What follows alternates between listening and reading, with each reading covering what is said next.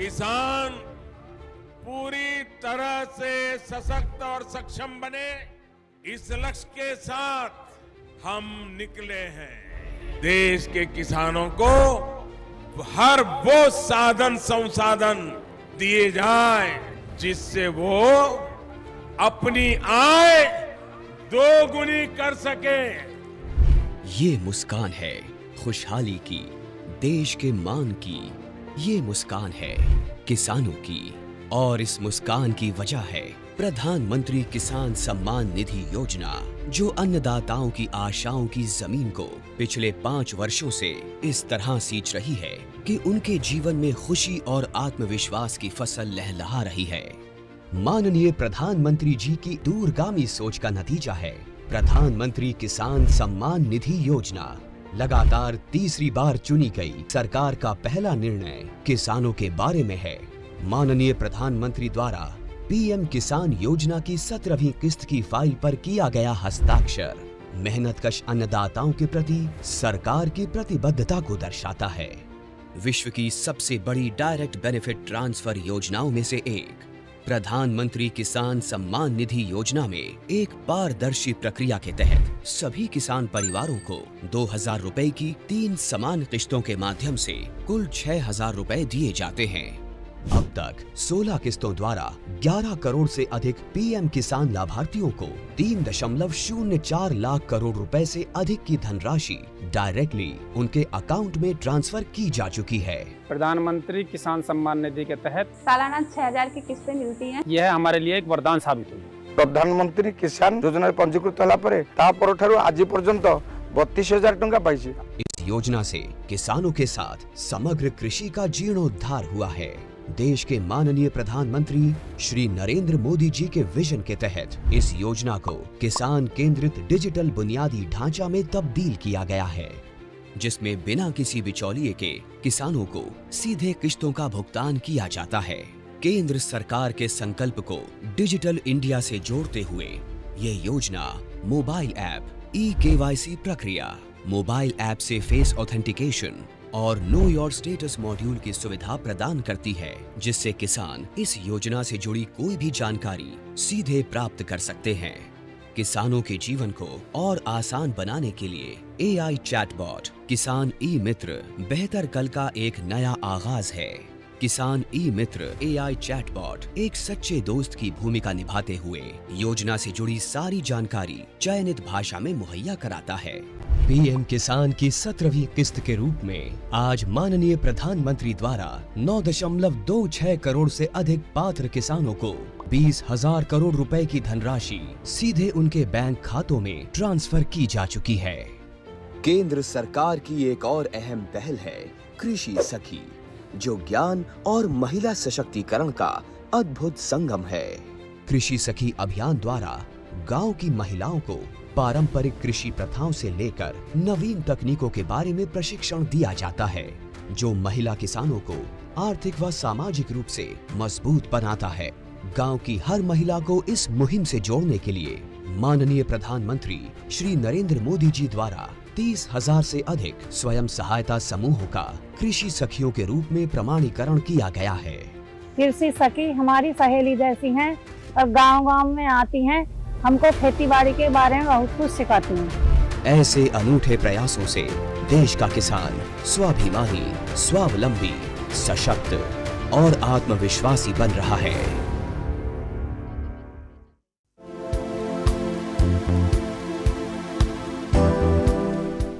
కార్యక్రమాన్ని మీకు సమర్పిస్తున్న వారు భారత వ్యవసాయ మంత్రిత్వ శాఖ మరియు దూరదర్శన్. నమస్కారం.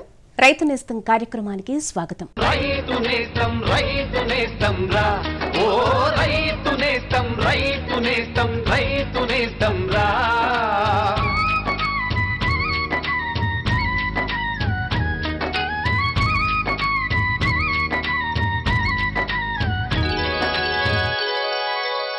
వ్యవసాయ రంగంలో రాను రాను విప్లవాత్మకమైన మార్పులు వస్తున్నాయి. ఒకప్పుడు సాంప్రదాయ వ్యవసాయాన్ని పాటించిన రైతాంగం ప్రస్తుతం అధిక దిగుబడుల కోసం టెక్నాలజీతో ముందుకు కదులుతున్నారు. సీజనల్గా పండించే పంటలను సైతం కాలాలతో సంబంధం లేకుండా హరితగృహాల విధానంతో సాగు చేస్తున్నారు. మూడు వందల అరవై ఐదు రోజులు కూరగాయలను పండిస్తూ మంచి ఆదాయాన్ని గడిస్తున్నారు. అయితే కొత్తగా సాగు చేయాలనుకునే రైతులు హరిత గృహాల్లో ఎలాంటి కూరగాయలు పండించాలి? సాగు విధానం ఏంటో తెలియచేస్తున్నారు వనపర్తి జిల్లా మోజర్లా ఉద్యాన కళాశాల assistant professor doctor J Srinivas గారు.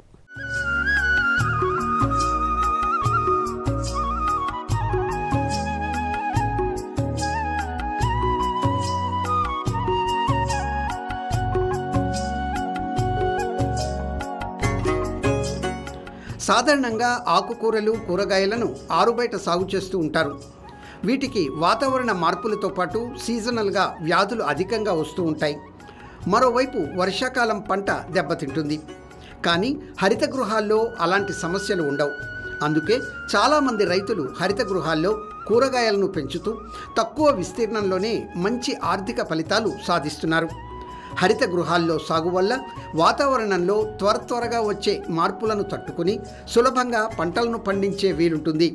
కాలం కాని కాలంలో నారు మొక్కలను పెంచుకొని కాలానికి ముందుగా నాటుకుని గిరాకీ ఉన్న కాలంలో అధిక దిగుబడులు పొందేందుకు అవకాశం ఉంటుంది వీటిలో అన్ని రకాల ఉద్యాన పంటలను సాగు చేసే అవకాశం ఉన్నప్పటికీ పెట్టుబడి ఎక్కువగా ఉంటుంది కనుక అధిక వ్యాపార విలువ కలిగిన పంటల సాగు రైతుకు లాభదాయకంగా ఉంటుంది. మన రాష్ట్రంలో ప్రధానంగా ఎగుమతి ప్రాధాన్యం ఉన్న క్యాప్సికం మిర్చిని కీరా పుదీనా కొత్తిమీర బీరా వంటి కూరగాయలను సాగు చేస్తున్నారు. మార్కెట్లో నాణ్యతతో కూడిన దిగుబడులకు మంచి ధర పలుకుతూ ఉండడంతో రైతులకు కాసుల వర్షం కురుస్తోంది. అయితే నాణ్యమైన అధిక దిగుబడులు పొందాలంటే శాస్త్రవేత్తల సూచనలు తప్పకుండా పాటించాల్సి ఉంటుంది.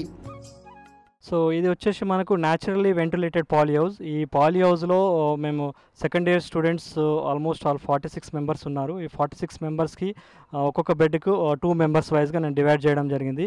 సో దీనిలో ముఖ్యంగా ఒక్కొక్క బెడ్కి వచ్చేసి ఒక్కొక్క కూరగాయలు ఎంచుకోవడం జరిగింది. ఆ కూరగాయల్లో మొదటగా మెస్కు యూజ్ అయ్యే కూరగాయలు మాత్రమే ఎంచుకున్నాము. ఆ కూరగాయలు వచ్చేసి బెడ్స్ వచ్చేసి మనకు లెంత్ వచ్చేసి ట్వెల్వ్ మీటర్ లెంత్ ఉంది. విడ్త్ వచ్చేసి వన్ మీటర్ సో మొదటగా వాళ్ళు బెడ్లు వాళ్ళ వాళ్ళ వాళ్ళు స్వతహాగా తయారు చేసే విధానం కానివ్వండి అదేవిధంగా దాంట్లో అప్లై చేసే పదార్థాలు ఎఫ్ఐఎం కానీ వర్మి కంపోస్ట్ వేపపిండి మనకు పర్ ఎక్కర్ వైజ్గా ఎంత శాతం అయితే అప్లై చేస్తాము. ఈ బెడ్ కూడా వాళ్ళ లెంత్ విడత ఎంత ఉందో దాని ప్రకారంగా వాళ్ళు క్యాలిక్యులేషన్ చేసుకొని వాళ్ళు అప్లై చేయడం జరిగింది. సో దీంట్లో మేము యూజ్ చేసేటి ఓన్లీ సేంద్రియ పద్ధతులు యూజ్ చేసే పదార్థాలు కానీ బయో ఫర్టిలైజర్స్ అదేవిధంగా ఎఫ్ఐఎం వర్మి కాన్స్ వర్మి కంపోస్ట్ వేపపిండి ఇవి మాత్రమే యూజ్ చేయడం జరిగింది.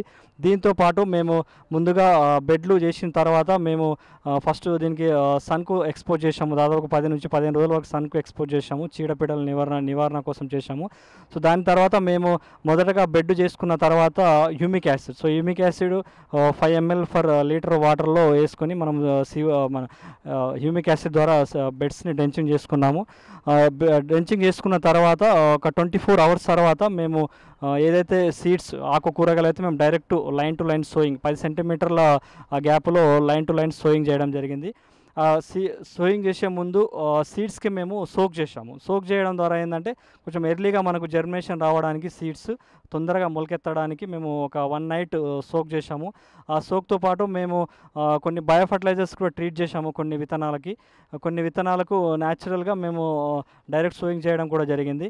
సో పాలకూర పాలకూర వచ్చేసరికి మేము డైరెక్ట్గా సీడ్స్ కలెక్ట్ చేసాము డైరెక్ట్ ట్రీటెడ్ ఉన్నదానికి ట్రీట్ చేయలేము. ఏదైతే లోకల్ వెరైటీస్ ఉంటాయో ఆ లోకల్ వెరైటీస్కి మేము సీడ్ ట్రీట్మెంట్ చేసి సోయింగ్ చేయడం జరిగింది. సో దీంట్లో దాదాపుగా మంచిగా జర్మినేషన్ వచ్చింది. ఆల్మోస్ట్ మేము సోయింగ్ చేసిన సీడ్లో ninety to ninety five percent germination percentage అని వచ్చింది. సో దాని దాని తర్వాత మేము ఈ యొక్క గ్రో అయిన కూరగాయల్లో మేము ఓన్లీ ఒక వేప నూనె మాత్రమే యూజ్ చేయడం జరుగుతుంది. వేప నూనెతో పాటు వివిధ వేప పిండి. సో ఏమైనా చీడపూడలు కూడా వచ్చిన తర్వాత మేము వేప పిండి అప్లై చేయడము. దాంతోపాటు వేప నూనె. సో వేప నూనె మేము వారానికి ఒకసారి వేప నూనె అనేది స్ప్రే చేస్తున్నాము. మేము మేము ఇక్కడ మదనాపురం నుంచి తీసుకురావడం జరిగింది. ఆ మదనాపురం ఇక్కడ మ్యానుఫ్యాక్చరింగ్ ఉంది. అక్కడ నుంచి దాదాపు ఫిఫ్టీ థౌసండ్ పీపీఎం ఉన్న ను- వేప నూనె తీసుకొచ్చి మేము just point two to point five percent of వేప నూనె ఫర్ లీటర్ వాటర్లో తీసుకొని వాళ్ళు పిల్లలే స్వతహాగా వాళ్ళు స్ప్రే చేయడం కూడా వాళ్ళే చేస్తున్నారు. సో దీనిలో దీనివల్ల మనకు వేప నూనె అనేది మనం వారానికి ఒకసారి వే వేప నూనె స్ప్రే చేస్తున్నాము.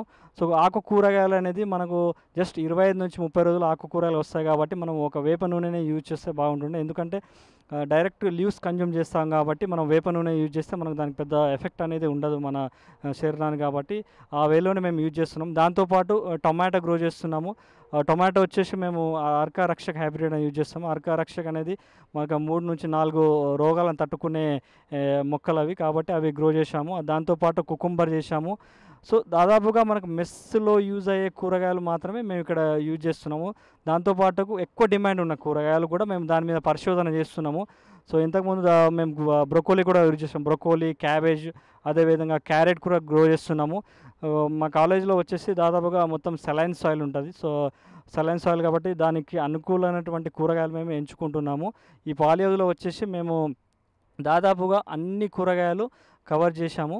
ఇక్కడ మేము పండించిన పండించిన కూరగాయలు వచ్చేసి తోటకూర సుక్కకూర పాలకూర గోంగూర దోసకాయ పుదీనా మిరపకాయ టమాటా రకాల వంటి వివిధ రకాల కూరగాయలు అనేది మేము సేంద్రియ పద్ధతిలో పండించడం నేర్చుకుంటున్నాము. ఇక్కడ వచ్చేసి నా పంట వచ్చేసి సుక్కకూర. మొదటగా ఇక్కడ నేలను అనేది మూడు నుండి నాలుగు సార్లు ఇరవై ఐదు నుండి ముప్పై సెంటీమీటర్ల లోతుకి ట్రాక్టర్తో బాగా దున్నించాం. తర్వాత వచ్చేసి బెడ్స్ అనేటివి తయారు చేసుకోవాలి. బెడ్స్ అడల్ పొడుగు వచ్చేసి పన్నెండు మీటర్లు వెడత వచ్చేసి వన్ మీటర్తో మేము అనేది తయారు చేసుకున్నాము. ఇక్కడ మేము బెడ్లో ఉపయోగించిన పదార్థాలు వచ్చేసి ఎఫ్ఐఎం ఎన్పికే నీమ్ కేక్ అనేది వాడి మేము బెడ్స్ అనేది తయారు చేసుకున్నాము. తర్వాత వచ్చేసి సుక్కకూర విత్తనాల ధర వచ్చేసి ఎనిమిది నుండి పది కేజీలు పర్ హెక్టార్కి ఉంటుంది. మేము వంద నుండి నూట యాభై గ్రాముల విత్తనాలను అనేది మేము ఉపయోగించి ఇక్కడ అనేది కూరగాయలు అనేది పండించడం జరిగింది. నీళ్ళ తడి అనేది వచ్చేసి వారానికి మూడు నుండి నాలుగు సార్లు ఇవ్వడం జరుగుతుంది. మేము విత్తనాలు వేసిన మూడు నుండి నాలుగు రోజుల వ్యవధిలో మాకు అనేది మొలక అనేది స్టార్ట్ అయింది. ఇందులో వచ్చేసి ఇది అనేది కూరగాయల పద్ధతిలో కూర కూరల పద్ధతిలో సలాడ్స్ సూప్స్ అట్లాంటి వాటిలలో మనం అనేది ఉపయోగించడం జరుగుతుంది. ఇందులో వచ్చేసి రిచ్ విటమిన్ ఏ అనేది సోర్స్ ఆఫ్ ఐరన్ కాల్షియం ఇంకా తదుపరి విటమిన్స్ అనేటివి బాగా దొరుకుతాయి. ఒక్కొక్కరికి ఇండివిజువల్గా ఆకుకూరగాయలని సాగు సాగు చేయడం అనేది చెప్పబడింది. అయితే నేను నేను ఎంచుకున్న కూరగాయ ఏంటి అంటే అమరంతస్ తోటకూర. ఫస్ట్ మేము ఏం చేసామంటే మొదటిగా ట్రాక్టర్తో ప్లవ్ చేయడం జరిగింది మూడు నాలుగు సార్లు. ఆ తర్వాత మేము బెడ్స్ బెడ్స్ ప్రిపేర్ చేసుకున్నాము. ఆ తర్వాత ఎఫ్ఐఎం అనగా పెండని పది పది కేజీలు అప్లై చేయడం జరిగింది. ఆ తర్వాత ఫెర్టిలైజర్స్ యూరియా భాస్వరము మళ్ళీ పొటాషియం వేయటం జరిగింది. ఆ తర్వాత వర్మి కంపోస్టు మళ్ళీ నీమ్ కేక్ వేయటం జరిగింది. ఆ తర్వాత మేము సీడ్స్ని ఇసుకలో కలుపుకొని సో చేయడం జరిగింది. ఒక్కొక్క లై- లైన్ లైన్ సోయింగ్ చేయడం జరిగింది. ఒక్కొక్క లైన్కి పది సెంటీమీటర్ల గ్యాప్ ఇచ్చి లైన్ సోయింగ్ చేయడం జరిగింది. ఆ తర్వాత మేము రెండు నుంచి మూడు రోజుల వ్యవధిలో మాకు మొలకలు రావడం జరిగింది. దీన్ని చూసుకున్నట్లయితే ఎకరానికి సీడ్ రేట్ అనేది ఎనిమిది వందల ఎనిమిది వందల గ్రాముల నుంచి ఒక కేజీ సీడ్ రేట్ అనేది పడుతుంది. అదే పంట దిగుబడి అయితే ముప్పై నుంచి ముప్పై రోజుల్లో వస్తుంది. అది రెండు రెండు టన్నుల వరకు ఉంటుంది. ఇక్కడ నేర్చుకున్న ఫీల్డ్ వర్క్ అంతా మేము రైతులకి ఉపయోగపడేట్లు ముందు ముందు ఉపయోగపడతామని చెప్తున్నాం రైతులకి. మేము ఇక్కడ గ్రో చేసిన క్రాప్ వచ్చేసి టొమాటో ఫస్ట్ మేము బెడ్స్ ప్రిపేర్ చేసాము. దానికంటే ఫిఫ్టీన్ డేస్ బ్యాకే మేము జ నర్సరీ రేజింగ్ అనేది చేసాము seeds so ప్రోట్రేస్లో first one is to one is to one రేషియోలో మేము సాయిల్ ఇంకా ఎఫ్వైఎం ఇంకా మీ కాంపోస్ట్ ఇట్లాంటివి అన్నీ మిక్స్ చేసేసి ఆ రేషియోలో మేము ప్రోట్రెస్లో ఫిల్ చేసాము. లైట్ ఇరిగేషన్ ఇచ్చాము. సీడ్స్ సీడ్ రేట్ వచ్చేసి three hundred to four hundred grams per hectare so ఆ రేంజ్లో మేము అందులో సీడ్స్ అనేవి పెట్టేసి ఉంచాము. లైట్ ఇరిగేషన్ ఇచ్చేసి. ఆ తర్వాత త్రీ టు ఫోర్ వీక్స్లో మాకు జర్మినేషన్ వచ్చింది. వచ్చిన తర్వాత మేము ట్రాన్స్ప్లాంట్ చేసే ముందు బెడ్స్ ప్రిపేర్ చేసుకున్నాము. ట్వెల్వ్ మీటర్స్ బెడ్ లెంత్ దానికి ఫస్ట్ మేము ఏం చేసామంటే సాయిల్ని రేకింగ్ చేసి సాయిల్ సోలరైజేషన్కి సన్లైట్కి ఉంచాము. సో దా ట్వెల్వ్ మీటర్స్ దాంట్లో ఎఫ్ఐఎం ఇంక్ FIM twelve KG ten KGs add చేసాము. చేసిన తర్వాత లైట్ ఇరిగేషన్ ఇచ్చి మేము ట్రాన్స్ప్లాంటింగ్ అనేది చేయడం జరిగింది. ట్రాన్స్ప్లాంటింగ్ చేసిన తర్వాత చేసే ముందు మేము ఫార్టీ సెంటీమీటర్స్ లెంత్ డిస్టెన్స్ చూసుకున్నాము ప్లాంట్ టు ప్లాంట్ చూసుకున్న తర్వాత లైట్ ఇరిగేషన్ ఇచ్చిన తర్వాత మాకు టూ డేస్ తర్వాత విల్టింగ్ సిమ్టమ్స్ అనేది కనిపించింది. అది రాకుండా ఉండడానికి అని చెప్పేసి మేము కాపర్ ఆక్సిక్లోరైడ్ అనేది ఫోలియా స్ప్రే చేసాము ఇంకా అది సీడ్ రేట్ వచ్చేసి నార్మల్ సీడ్స్ అయితే ట్వం మనకి yield twenty to thirty tonnes per hectare వస్తుంది. హైబ్రిడ్స్ అయితే ఫిఫ్టీ టర్న్స్ వరకు వస్తుంది. ఇంకా హార్ స్టేకింగ్ అనేది ఇందులో ఇంపార్టెంట్ ఎందుకంటే టొమాటో ప్లాంట్స్కి సపోర్ట్ అనేది అవసరము. కొంచెం హైట్ వచ్చిన తర్వాత దానికి సపోర్ట్ అనేది కావాలి. కాబట్టి మనం స్టేకింగ్ అనేది చేస్తాము. మేము మా ప్లాన్స్ ఇంకా అంత హైట్లోకి రాలేదు కాబట్టి ఇంకా జరగలేదు. ఇంకో four to five days or ten days వరకు మేము చూసి ఆ తర్వాత మేము స్టేకింగ్ అనేది కంటిన్యూ చేస్తాం ప్రొసీడ్ అవుతాము. సో మేము ఎక్స్పెక్ట్ చేసే ఈల్డ్ వచ్చేసి ట్వంటీ టు థర్టీ టర్న్స్ అనుకుంటున్నాము. పంటల్లో సరాసరి దిగుబడి పెంచడానికి అందుబాటులో ఉన్న తక్కువ ఖర్చుతో కూడిన పద్ధతుల్ని వినియోగించాలి. కేవలం రసాయన ఎరువులనే వాడకుండా సేంద్రియ పదార్థాల వాడకాన్ని పెంచుతూ భవిష్యత్తు తరాలకు ఆరోగ్యవంతమైన ఫలవంతమైన నేలను అందించాలి. ముఖ్యంగా వర్షాకాలం కూరగాయల పంటల్లో అధిక సుస్థిర దిగుబడులు సాధించాలంటే పోషక పదార్థాలు సమతుల్యంగా తగిన మోతాదులో అందించాలని వివరాలు తెలియజేస్తున్నారు వనపర్తి జిల్లా మోజర్ల ఉద్యాన కళాశాల విద్యార్థి ఎం సునీత గారు.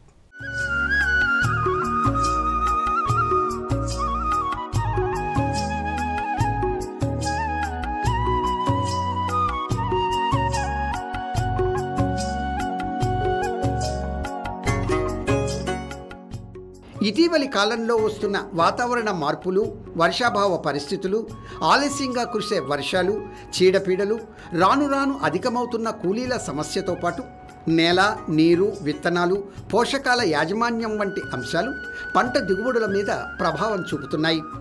సరాసరి దిగుబడి పెంచడానికి అందుబాటులో ఉన్న తక్కువ ఖర్చుతో కూడిన పద్ధతులను పాటించాలి. కేవలం రసాయన ఎరువులనే వాడకుండా సేంద్రియ పదార్థాల వాడకాన్ని పెంచుతూ భవిష్యత్ తరాలకు ఆరోగ్యవంతమైన నేలను అందించాలి. ఖరీఫ్ కూరగాయ పంటల్లో అధిక సుస్థిర దిగుబడులు సాధించాలంటే పోషక పదార్థాలు సమతుల్యంగా తగిన మోతాదులో అందించాలి. అంటే సమగ్ర పోషక యాజమాన్యం చేపట్టాలి. సమతుల్యంగా పోషక పదార్థాలు వాడకపోతే తెగుళ్ళ వల్ల పంట దిగుబడి తగ్గిపోతుంది. పంట అవసరాన్ని బట్టి భూసార సహజ వనరుల శక్తిని సమన్వయం చేసి నత్రజని భాస్వరం పొటాష్ ఎరువుల వాడకం నిష్పత్తిని నిర్ణయించాలి. కేవలం నత్రజని ఎరువులనే అధికంగా వాడి భాస్వరం పొటాష్ ఎరువులను వాడకపోవడం వల్ల చీడపీడల ఉధృతి అధికమై పంట నాణ్యత తగ్గుతుంది. అంతేకాదు రసాయన ఎరువులతో పాటు అందుబాటులో ఉన్న ఏదో ఒక రసాయన ఎరువులు కానీ జీవన ఎరువులను కానీ ముప్పై నుంచి యాభై శాతం మేర వాడుకుంటే నమ్మకమైన దిగుబడులను పొందవచ్చు. సమగ్ర పోషక యాజమాన్యము పాలకూరలో అది ఎలా పెరుగుదల ఉంటుంది తర్వాత న్యూట్రియంట్స్ని ఎట్లా తీసుకుంటుంది అనే దాని మీద నా రీసెర్చ్ ప్రోగ్రామ్ జరుగుతుందండి. ఇందులో వచ్చేసి నేను యూజ్ చేసిన డిజైన్ డిజైన్ వచ్చేసి ఆర్బిడి ర్యాండమైజ్డ్ బ్లాక్ డిజైన్. ఇందులో తొమ్మిది ట్రీట్మెంట్స్ డిఫరెంట్ అంటే వేరు వేరు ట్రీట్మెంట్స్ డిజైన్ చేసినాము. అందుట్లో వచ్చేసి hundred percent NPK seventy five percent NPK and fifty percent ఎన్పీకేని use చేసినాము. అందులో different combination of FIM vermicompost తర్వాత నీమ్ కేక్ని వేరు వేరు ఆ, సమపాలల్లో యూజ్ చేసి ఈ ట్రీట్మెంట్స్ని డిజైన్ చేయడం అయింది. ఈ ట్రీట్మెంట్స్ వచ్చేసి మూడు రిప్లికేషన్స్లో చేస్తున్నాము. ఈ రిప్లికేషన్స్లలో మేము యూజ్ చేసింది ఏంటంటే ముందుగా సాయిల్ తయారు చేసుకోవడం ఎట్లా అంటే రెండు నుంచి మూడు సార్లు ట్రాక్టర్తో దున్నించిన తర్వాత ప్లాట్స్ని డిసైడ్ చేసినాము. ప్లాట్ సైజ్ వచ్చేసి three metres into three metres పొడవు వన్ పాయింట్ ఫైవ్ మీటర్స్ విడుతులో తీసుకున్నాము. దీన్ని తీసుకున్న తర్వాత రేజ్డ్ బెడ్స్ తీసుకున్నాము. ఎందుకంటే ఇది షేడ్ నెట్ కండిషన్స్లో మేము చేస్తున్నాము. బయట ఓపెన్ ఓపెన్ కండిషన్స్లో అంటే బయట కండిషన్స్ కాకుండా షేడ్ నెట్ కండిషన్స్లో నేను మా రీసెర్చ్ బ్లాక్ని డిజైన్ చేసుకున్నందుకు ఈ ప్లాట్ సైజ్ వచ్చేసి three into one point five metres. ఇందులో నైన్ ట్రీట్మెంట్స్కి మొత్తం ట్వంటీ సెవెన్ ప్లాట్స్ వచ్చేసినాయి. సీడ్ రేట్ వచ్చేసి మేము యూజ్ చేసిన వెరైటీ వచ్చేసి ఆ, Arka Anupama variety Arka Anupama variety is released by the IIHR Bengaluru ఇందులో వచ్చేసి సీడ్ రేట్ వచ్చేసి టూ టు ఎయిట్ కేజీస్. మేము ఇందులో సీడ్ రేట్ సీడ్ని ఫిఫ్టీన్ ఇంటూ టెన్ సెంటీమీటర్స్ డిస్టెన్స్లో ప్లాంటింగ్ చేసుకున్నాము.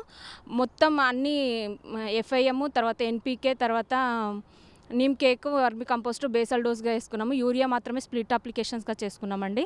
ఇందులో మేము యూజ్ చేసినటువంటి అప్లికేషన్ అంతా బేసల్ డోస్ వేసిన తర్వాత మేము సోయింగ్ చేసేటప్పుడు లెవెలింగ్ చేసేసుకొని మొత్తము twelve fifteen into ten centimetres డిస్టెన్స్లో మొక్కలను నాటేసుకున్నాము. నాటిన తర్వాత దీని జర్మినేషన్ వచ్చేసి ఎయిట్ టు టెన్ డేస్ ఉంటుంది. కానీ ఇది మాకు సిక్స్ నుంచి ఎయిట్ డేస్ లోపలనే జర్మినేషన్ కనిపించడము కంప్లీట్ అవ్వడం కూడా జరిగింది. తొందరగా జర్మినేషన్ చూడడం జరిగింది. తర్వాత ఇది మేము ఇరిగేషన్ అనేది డ్రిప్ ద్వారా ఇచ్చినాము. ఫస్ట్ ఇనిషియల్ స్టేజ్లో మాత్రము మేము రోజ్ క్యాన్తో ఇవ్వడం జరిగింది. దాని తర్వాత మేము వీడింగ్ వచ్చేసి టెన్ టు ట్వెల్వ్ డేస్లోనే చేసేసినాము. ఎందుకంటే పాలకూర చాలా చిన్నగా ఉంటుంది కాబట్టి తొందరగానే చేస్తే దాని గ్రోత్ ఎక్కువ ఉంటుంది. దాని తర్వాత మేము ఇక్కడ వచ్చేసి ఆరు నుంచి ఎనిమిది కటింగ్స్ వస్తుంది అర్కాన్ వెరైటీ వచ్చేసి. మేము మాత్రము మా మా రీసెర్చ్ ప్లాట్కి త్రీ రెప్లికేషన్స్ అంటే త్రీ కటింగ్ మూడు కోతలు మాత్రమే తీసుకోవడం జరిగింది. ఇందుట్లో వచ్చేసి మేము ఈ సమగ్ర పోషణ యూజ్ చేయడం వలన ఇందుట్లో న్యూట్రియంట్స్ ఎలా చేంజ్ అవుతున్నాయి లేదంటే న్యూట్రియంట్స్ ఎట్లా ఎక్కువ వస్తున్నాయి అనే దాని మీద మా రీసెర్చ్ ఉంటుంది. ఇందుట్లో calcium content magnesium content iron content and oxalate contents కూడా మేము ఎస్టిమేషన్ చేస్తున్నాము. ఇందులో మేము మూడు కట్టింగ్స్ ట్వంటీ ఫైవ్ డేస్లో ఫస్ట్ కట్టింగ్ తీసుకున్నాము. ఫార్టీ డేస్ ఫార్టీ ఫైవ్ డేస్లో ఒకటి సిక్స్టీ డేస్లో ఒకటి తీసుకున్నాము. మూడు కట్టింగ్స్ వచ్చేసి మాకు తొందరగా వచ్చేసినాయి. మామూలుగా వచ్చేదానికంటే మేము సమగ్ర పోషక యాజమాన్యం చేసినందువల్ల మాకు తొందరగా రావడం జరిగింది. రైతు నేస్తం కార్యక్రమంలో ఇప్పుడు ఒక చిన్న విరామం हर जोखिम से निकल कर फसल आए सुरक्षित हो जाए फसल बीमा से हर किसान अब आत्मनिर्भर हो जाए अब सूखा पड़े या बाढ़ आ जाए कोई डर नहीं अब ओले पड़े या कीट पतंगे फसल खा जाए कोई फिक्र नहीं अब कैसी भी आपदा हमारी फसल पे आ जाए क्षति होने पर हमारे दावों का उचित भुगतान मिलता है क्योंकि हमने लिया है प्रधानमंत्री फ़सल बीमा। बुआई से फ़सल कटाई तक हर जोखिम का दावा न्यूनतम प्रीमियम पर अधिकतम भुगतान का वादा। योजना से हर साल जुड़ रहे हैं पाँच करोड़ से ज़्यादा किसान। अब आपकी है बारी। नजदीकी कृषि कार्यालय सहकारी समिति बैंक शाखा अधिकृत बीमा कंपनी या जन सेवा केंद्र में स्वेच्छा से करा सकते हैं पंजीकरण। फ़सल बीमा पोर्टल या फ़सल बीमा ऐप द्वारा भी किया जा सकता है पंजीकरण। प्रधानमंत्री फसल बीमा योजना आपकी फसलों का संपूर्ण सुरक्षा कवच कृषि एवं किसान कल्याण मंत्रालय भारत सरकार రైతు నేస్తం కార్యక్రమానికి తిరిగి స్వాగతం స్వల్ప కాలంలో తక్కువ ఖర్చుతో ఆదాయం చేతికొచ్చే పంటలలో కూరగాయలది మొదటి స్థానంగా చెప్పుకోవచ్చు ధరల్లో హెచ్చుతగ్గులున్నా ఒక కోతలో కాకపోతే మరో కోతలో ఒక పంటలో కాకపోతే మరో పంటలో అధిక ధరలు పొందేందుకు ఆస్కారం ఉంటుంది. కాబట్టి ప్రస్తుతం ఖరీఫ్ కూరగాయలు సాగు చేసే రైతులు నాణ్యమైన అధిక దిగుబడులను పొందాలంటే నారుమడి నుండి పంట కోత వరకు మేలైన యాజమాన్య పద్ధతులను చేపట్టాలని వనపర్తి జిల్లా మోజర్ల ఉద్యాన కళాశాల అసోసియేట్ ప్రొఫెసర్ డాక్టర్ షెహనాజ్ గారి మాటల్లో తెలుసుకుందాం.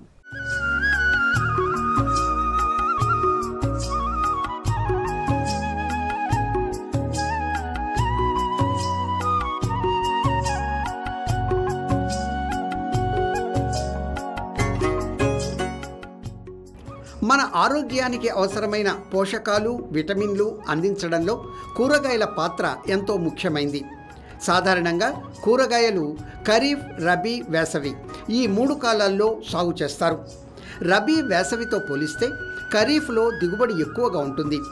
ఖరీఫ్ పంట అంటే వర్షంపై ఆధారపడి ఋతుపవనాల రాక నుంచి ఋతుపవనాల తిరోగమనం వరకు పండించే పంటలని చెప్పవచ్చు. ఈ పంటలను సాధారణంగా జూలై నెలలో ప్రారంభమయ్యే తొలకరి వర్షాల్లో నాటుతారు. ఈ కాలాన్ని నైరుతి ఋతుపవనాల కాలం అంటారు. ఖరీఫ్లో సాగు విస్తీర్ణం ఎక్కువగా ఉండి దిగుబడి పెరగడం వల్ల రైతుకు ఆదాయం పెరుగుతుంది. అయితే కొన్ని రకాల కూరగాయల పంటలకు ముందుగా నారుపోసి తరువాత పొలంలో నాటుకోవాలి. నాణ్యమైన అధిక దిగుబడిని పొందాలంటే ముందుగా నారు పెంపకంపై జాగ్రత్తలు వహించాలి. అలాగే వాతావరణ మార్పుల కారణంగా పలు కూరగాయల పంటలకు వివిధ రకాల తెగుళ్ళు పురుగులు ఆశిస్తున్నాయి. ఎక్కువగా రసం పీల్చే పురుగులు ఆశించి తీవ్ర నష్టం చేస్తున్నాయి. కాబట్టి నారుమడి నుంచి ప్రధాన పొలంలో నాటే సమయంలో ఎలాంటి జాగ్రత్తలు తీసుకోవాలి? నాటిన తరువాత చీడపీడల నివారణకు ఎలాంటి సస్యరక్షణ చేపట్టాలనే విషయాల్లో రైతులకు సరైన అవగాహన ఉండాలి. మన రాష్ట్రంలో ఉండే వాతావరణ పరిస్థితులు కూరగాయలను అన్ని రకాల అన్ని సీజన్స్లో గ్రో అన్ని సీజన్స్లో పండించడానికి అనుకూలమైనగా ఉన్నాయి. కాకపోతే మన దగ్గర ఎక్కువగా వేసవికాలంతో పోలిస్తే వర్షాకాలంలో ఎడతెరిపి కురిసే వర్ష వర్షాల వల్ల చీడపీడల బాధ అనేది ఎక్కువగా ఉంటుంది. సో దీని నుంచి నివారించడానికి రైతులు సమగ్ర సస్యరక్షణ పద్ధతులను పాటించాలి. మన రాష్ట్రంలో ముఖ్యంగా పండించే కూరగాయలలో సొలనేసి చేతికి చెందిన కూరగాయలైన టమాటా మిరప వంగ క్రూసివేర్ జాతికి చెందిన క్యాబేజీ క్యాలీఫ్లవర్ అలాగే తీ జాతి కూరగాయలు చెందిన కాకర బీర పొట్ల ఇవన్నీ ఎక్కువ సాగు చేస్తారు. సో మనం సొల చేసి జాతికి చెందిన కూరగాయలను తీసుకుంటే టమాటాలో మనకు ఎక్కువగా ఆశించే చీడపుడలు కాయతొలుచు పురుగులు మరియు రసం పీల్చు పురుగులు. ఈ కాయతొలుచు పురుగులు రసం పీల్చు పురుగులు అనేవి టమాటా పంటను ఎక్కువగా ఆశించి నష్టాన్ని కలిగేస్తాయి దీంతోపాటు దీంతో పాటు ఏంటంటే వాటి నుంచి మనం నివారించుకోవడానికి కొన్ని సమస్య సస్యరక్షణ పద్ధతులు అనేవి రైతులు పాటించవలసి ఉంటుంది. దీనిలో ముందుగా చేయవలసినది ఏంటంటే రైతులు వేసవిలో లోతు దిక్కులను దున్నుకోవడం వలన కోశస్థ దశలు భూమిలో ఉన్న కోశస్థ దశలు చనిపోవడానికి ఆస్కారం ఉంటుంది. దీంతో పాటు రసం చీల్చి పురుగులు అనేవి నారుమడి దశ నుంచి ఆశించి ఎక్కువగా నష్టాన్ని కలిగేస్తాయి కాబట్టి రైతులు నారుమడి వేసుకునే ముందు నారుమడిని నైలాన్ నెట్తో కప్పి ఉంచడం వల్ల ఈ పురుగు ఉద్ధృతి అనేది కొంతవరకు మనం తగ్గించుకోవచ్చు. వీటితో పాటు విత్తనాలని విత్తన శుద్ధి చేసుకోవాలి. దీనికి మనం ఇమిడాక్లోపిడ్ అనే మందుని మూడు గ్రాములు కేజీ విత్తనాన్ని కనుక పట్టించి విత్తన శుద్ధి చేసుకుంటే మనం ఒక ముప్పై నుంచి నలభై రోజుల వరకు ఈ పంటని మనము చీడపీడల బారి నుంచి కాపాడుకోవచ్చు. వీటితో పాటు మనము రసం పీల్చు పురుగును నివారించడం కోసము పొలంలో అక్కడక్కడ మనము ఈ పసుపు రంగు జిగురు డబ్బాలు అనేవి నారుమడికి తర్వాత ప్రధాన పొలంలో వేసుకునేటప్పుడు అక్కడక్కడ ఒక ఇరవై నుంచి ముప్పై ఈ పసుపు రంగు జిగురు అట్టాలు అనేవి పొలంలో వేసుకోవాలి. నారుమడి దశలో మనకి నాటు వేసుకోవడానికి ముందు ఈ నారుమడిని ఇమిడాక్లోపిడ్ అనే పు- పురుగు మందు ద్రావణంతో ద్రావణంని జీరో పాయింట్ మూడు మిల్లీ లీటర్లు లీటర్ నీటికి కలిపి ఆ, ఆ ద్రావణంలో కనుక ఈ నారుమడిని నారుని ముంచి నాటుకుంటే కూడా కొంతవరకు మనకి ఈ రసం పీల్చే పురుగుల బాధ నుంచి కాపాడుకోవచ్చు. ఎప్పుడైతే ప్రధాన పొలంలో రైతులు తయారు చేసుకుంటారో వాటిలో ముందుగా చేసుకోవాల్సిందంటే ప్రధాన పొలంలో ఒకటి లేదా రెండు వరుసల జొన్న లేదా మొక్కజొన్న మొక్కలను రక్షక పంటలుగా వేసుకోవాలి. దీనివల్ల మిత్ర పురుగులు అనేవి అభివృద్ధి చెంది ఈ రసం పీల్చు పురుగులు అనేవి కొంతవరకు ఉద్యుతి అనేది తగ్గుతుంది. వీటితో పాటు మనకి వర్షాకాలం అంటే సంవత్సరం అంతా మనం పండించే ముఖ్యమైన కూరగాయలలో వంగ అనేది అతి ముఖ్యమైనది. దీన్ని మన ఉభయ రాష్ట్రాలలో రైతులు మూడు కాలాల్లో కూడా పండిస్తూ ఉంటారు. సో మనకి వీటిలో ఎక్కువగా వచ్చే ముఖ్యమైన చీడపీడ ఏంటంటే మొవ్వ మరియు కాయతొలుచు పురుగు. దాంతోపాటు మనకి వెర్రి తెగులు అనేది ఎక్కువగా ఆశించి నష్టాన్ని కలిగిస్తుంది. సో వీటిని నివారించడం కోసం కూడా రైతులు ముందస్తుగానే సస్యరక్షణ పద్ధతులు అనేవి చేపట్టాలి. వంగని కూడా మనం వేసుకునేటప్పుడు నారు వేసుకున్నా కూడా వాటిని మనము నారుమడిలోనే కొంచెము ప్ర సస్యరక్షణ పద్ధతులు అనేవి చేపట్టాల్సి ఉంటుంది. నారుమడిలో మనం నాట్లు వేసుకున్నప్పుడు వీటిలో ఏంటంటే విత్తన శుద్ధి అనేది చేసుకోవాలి. ఈ విత్తన శుద్ధి అనేది మూడు గ్రాములు కిమిడాక్లోపిడ్ మందుని ఒక కేజీ విత్తనాన్ని కలిపి విత్తన శుద్ధి చేసుకుంటే కొంతవరకు మనము ఈ పురుగు మందు ఈ పురుగు అంటే రసం పీల్చు పురుగుల బారి నుండి కాపాడుకోవచ్చు. మనకి ఈ వంగలో ముఖ్యంగా వచ్చే రసం పీల్చు పురుగుల వెర్రి తెగులు అనేది ఎక్కువగా వస్తుంది. ఈ వెర్రి తెగులు అనేది పచ్చదోమ వల్ల వ్యాపింపజేస్తుంది కాబట్టి దానిని నివారించడం కోసం ముందుగానే మనం ముందస్తుగానే నారుబడిలో కనుక కొన్ని చర్యలు చేపడితే మనం కొంతవరకు ఈ ఉద్ధృతి అనేది తగ్గి తగ్గించుకోవచ్చు. దీనికోసం మనం మొబ్బ అంటే ఒక మనకి నాటిన ముప్పై రోజుల నుంచి ఇది ఎక్కువగా ఆశించి నష్టాన్ని కలిగేస్తుంది కాబట్టి ఈ మొబ్బ మరియు కాయతొలుచు పురుగు ఉద్ధృతిని కనుక్కోవడానికి ముందస్తుగానే మనము లింగాకర్షక బుట్టలు అనేవి పొలంలో పెట్టుకోవాలి. ఈ లింగాకర్షక బుట్ట ల్యూసిన్ ల్యూర్ అనే లింగాకర్షక బుట్ట మనకి మార్కెట్లో అందుబాటులో ఉంది. దీన్ని మనం ఒక ఎకరానికి నాలుగు నుంచి ఐదు పొలంలో నాటుకు పెట్టుకుంటే మనకు తల్లి పురుగులు అనేవి రెక్కల పురుగులు వాటికి ఆకర్షించబడి అందులో పడతాయి. దాన్ని బట్టి మనం పురుగు ఉధృతి ఉందా లేదా అనేది తెలుసుకోవచ్చు. దాన్ని బట్టి మనం సస్యరక్షణ చర్యలు చేపట్టాలి. ఆ మొవ్వ దశలో నుంచి కాయ దశకు అంటే ఎప్పుడైతే మన కాయలు ఏర్పడే దశలో కనుక పురుగు ఉధృతి కనుక అనిపించినప్పుడైతే మనము ఈ పురుగు నివారించడం కోసం ఫ్లూబెండమైడ్ జీరో పాయింట్ మూడు మిల్లీలీటర్ లేదా క్లోరోట్రానోలిప్రోల్ జీరో పాయింట్ మూడు మిల్లీలీటర్ లీటర్ లీటర్ నీటికి కలిపి పిచికారీ చేయొచ్చు. లేదా స్పైనోసాడ్ జీరో పాయింట్ మూడు మిల్లీ లీటర్ నీటికి లేదా indoxacarb one millilitre litre నీటికి కలుపుకొని మనం పిచికారీ చేసి పురుగు ఉద్ధృతిని తగ్గించుకోవడానికి ఆస్కారం. తెలంగాణలో వర్షాకాలం వరి పత్తి మొక్కజొన్న లాంటి అనేక పంటలతో పాటు కూరగాయ పంటలు కూడా సాగవుతున్నాయి. ఏళ్ళ తరబడి పంటలు సాగు చేస్తున్నా దిగుబడులు తగ్గుతున్నా ఎరువుల వాడకంలో మాత్రం మార్పు రావడం లేదు. ముఖ్యంగా ఎరువుల వినియోగ సామర్థ్యాన్ని పెంచాలంటే ఎరువులు ఎంత వేయాలన్నది ఎంత ముఖ్యమో అది వేయాల్సిన పద్ధతి కూడా అంతే ముఖ్యం. ఆధునిక వ్యవసాయ రంగంలో రసాయన ఎరువులు కీలకమైన పాత్రను పోషిస్తున్నాయి. ఆశించిన దిగుబడులు సాధించడానికి రసాయనిక ఎరువులు ఖచ్చితంగా వాడాలి. వీటి వినియోగం యాజమాన్య సమతుల్యతను గురించి సరైన అవగాహన ఉన్నప్పుడే ఎరువుల నుండి పూర్తి ఫలితం పొందగలం అని రాజేంద్రనగర్ హైదరాబాద్ అఖిల భారత సమన్వయ పశుగ్రాస పరిశోధన సంస్థ ప్రధాన భూసార శాస్త్రవేత్త డాక్టర్ ఎం రాజేశ్వర్ నాయక్ గారి మాటల్లో తెలుసుకుందాం. నమస్కారం సార్. నమస్కారం. కార్యక్రమానికి స్వాగతం. ఈరోజు రైతులకి మనం తెలంగాణలో వర్షాకాలం పంటల్లో ఎరువుల యాజమాన్యం గురించి చెప్పబోతున్నాం. ముందుగా ఈ వర్షాకాలంలో ఎరువుల మరియు పోషకాల ఆవశ్యకత ఎలా ఉంటుంది? ముఖ్యంగా ప్రపంచంలో మానవాళికి ప్రధానంగా ఈరోజు పోషకాల ఆవశ్యకతమైన ముఖ్యంగా ఎరువుల యజమాన్యం పైననే ఈరోజు మానవాళి జీవితం ఆధారపడి ఉంది. అందులో ప్రధానంగా చూసుకున్నప్పుడు పోషకాల ఆవశ్యకతగా చూసుకున్నప్పుడు ముఖ్యంగా సహజ సిద్ధంగా మన నేలలో అంటే భూమిలో పోషకాలు ఉంటాయి. అందులో ప్రధానంగా ప్రధాన పోషకాలు ముఖ్యంగా కర్బనం నతర ముఖ్యంగా కర్బనం చూసుకుంటాం అదేవిధంగా ఉదజని చూసుకుంటాం అదే ఆక్సిజన్. ఇవే కాకుండా ప్రధానంగా ఈ ఉదజని కర్బనము ఆక్సిజన్ ఇవి ముఖ్యంగా గాలి రూపంలో నీటి రూపంలో మనకు మొక్క మొక్కలకు అందుబాటులో ఉంటాయి. ఇవి కాకుండా ప్రధానంగా చూసుకున్నప్పుడు ముఖ్యంగా నత్రజని పోషకం. నత్రజని వీర్య రూపంలో మానవుడు ముఖ్యంగా వాళ్ళు పంట పండించడానికి వాడుతూ ఉంటాడు. అదేవిధంగా భాస్వరం పొటాషియం ఇది కాకుండా ప్రధానంగా చూసుకున్నప్పుడు ముఖ్యంగా కాల్షియం కాల్షియం మెగ్నీషియం గంధకం వీటిని మనం ద్వితీయ శ్రేణి పోషకాలు అంటాము. వీటితో పాటుగా సూక్ష్మ పోషకాలు జింక్ అదేవిధంగా ఇనుము కాపర్ దాని రాగి అంటాము. అదేవిధంగా మ్యాంగానీసు తుత్తునాగం అంటాము. ఇవి ఇవి ఇవే కాకుండా ప్రధానంగా మాలిబ్డినం బోరాన్ వంటి పోషకాలు కూడా ఈరోజు పంట పండించడానికి మనకు దోహదం చేస్తాయి. అయితే ముఖ్యంగా ఇక్కడ ప్రధానంగా ఏంటంటే రైతు ఈరోజు పోషకాల ఆవశ్యకత దాని యొక్క ప్రాముఖ్యత ఎక్కువ ఎందుకు ఉందంటే రైతు సమతుల్య సమగ్ర ఎరువులు వాడకపోవడం. ఈ రకంగా వాళ్ళు వాడకపోవడం ద్వారా ఏమవుతుందంటే ఒక ఎరువు అధిక మొదలు వేస్తాం ప్రధానంగా ఇప్పుడు ఉదాహరణకు బాసన పోషకం ఎక్కువ వాడినప్పుడు అదేవిధంగా నతరని పోషకాలు ఎక్కువ వాడినప్పుడు సూక్ష్మ పోషక ధాతు లోపాలు ఎక్కువ వస్తుంటాయి. ముఖ్యంగా బాసనం ఎక్కువ వాడినప్పుడు జింకు ధాతు లోపం ఇనుప ధాతు లోపం ఎక్కువ వచ్చే అవకాశం ఉంది. అంటే ఈరోజు రైతు సమతుల్య సమగ్ర ఎరువులు వాడకపోవడం ద్వారా అదేవిధంగా ఎక్కువగా సేంద్రియ ఎరువులు సిఫార్సు చేసిన మోతాదుల్లో సేంద్రియ ఎరువులు వాడకపోవడం ద్వారా సుస్థిర వ్యవసాయానికి నాంది పలకాల్సిన రైతు మన భావి తరాలకు మంచి నేలను మంచి పంట నాణ్యమైన పంటను అందించవలసిన సమయంలో ఈరోజు వ్యవసాయం ఒడిగిదొడుకులకు లోనవుతుంది కాబట్టి ఆ వ్యవసాయాన్ని మరింత మంచి కాపాడుకోవడానికి పోషకాల ఆవశ్యకత. ముఖ్యంగా పోషకాల ఆవశ్యకత అది భూసార పరీక్ష పైన ఆధారపడి ఉంటుంది.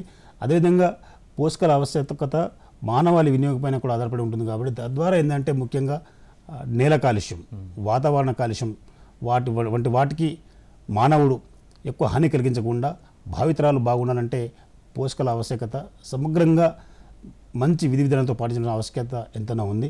కాబట్టి ఇక్కడ రైతు సోదరులు ముఖ్యంగా పోషకాల వినియోగంలో మంచి సూచనలు పాటించినప్పుడు అధిక దిగుబడి రావడమే కాకుండా రైతు రారాజుగా రైతు రాజుగా కాకుండా రారాజుగా వెలుగొందే అవకాశం ఉంది కాబట్టి రైతులు సమగ్ర పోషక యాజమాన్యం చేపడాలని ఆశిస్తున్నాను. ఓకే. దానివల్ల దిగుబడి పెరుగుతుంది. అలాగే మంచి పంట కూడా చేతికొచ్చి వినియోగదారులకు కూడా మంచి లాభం చేకూరుతుంది. ధన్యవాదాలు. సార్ తర్వాత మన రాష్ట్రంలో ప్రధానంగా సాగు చేసే ఆహార వాణిజ్య పంటలు ఏమున్నాయి? ఆ, ముఖ్యంగా మన తెలంగాణ రాష్ట్రంలో చూసుకుంటే ప్రధాన ఆహార పంట వరి తర్వాత మొక్కజొన్న జొన్న తక్కువ మొత్తంలో అక్కడక్కడ సజ్జ రాగులు. ఇవి మనకు ప్రధానంగా ఈ మధ్య మన తెలంగాణ రాష్ట్రంలో ప్రధాన ఆహార పంటలు. వీటిలో వీటితో వీటితో పాటుగా ముఖ్యంగా అపరాలు అపరాల విషయం వస్తుంటే ముఖ్యంగా కంది పెసర మినుము అదేవిధంగా నూనె గింజ పంటలు చూసుకుంటే ఎక్కువ వేరుశనగ వేరుశనగ ఎక్కువ ఎక్కువ ఉంది. తర్వాత పొద్దుతిరుగుడు ఎక్కువ మోతాదులో వేస్తున్నారు. ఇవిగా కాకుండా ముఖ్యంగా అపరాలు మరియు నూనె గింజ పంటగా సోయా చిక్కుడు. ఇది కూడా మన ముఖ్యంగా ఉత్తర తెలంగాణ మండలంలో ఎక్కువ వేస్తున్నారు. ఇవి కాకుండా వాణిజ్య పంటల విషయానికి వస్తుంటే ముఖ్యంగా పత్తి. పత్తి దాదాపు మన తెలంగాణ రాష్ట్రంలో పత్తి ప్రధాన పంట ఇప్పుడు.